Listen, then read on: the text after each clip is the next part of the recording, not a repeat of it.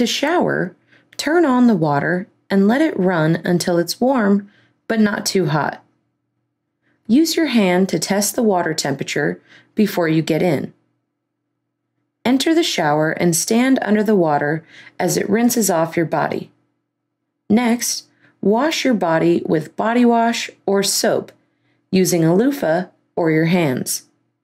You can also wash your face in the shower using your regular face wash. If you want to wash your hair, wet it entirely and then apply shampoo and conditioner. Make sure to rinse the shampoo out of your hair before adding the conditioner.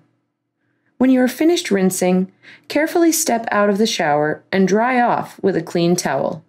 If you're looking to improve your daily showers, buy products and accessories to turn your shower into a mini spa, like an exfoliating sponge, bathrobe, or essential oils.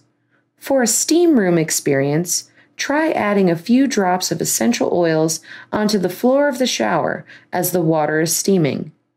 Finally, try putting on some music before you hop in so you can jam out or relax while you get clean.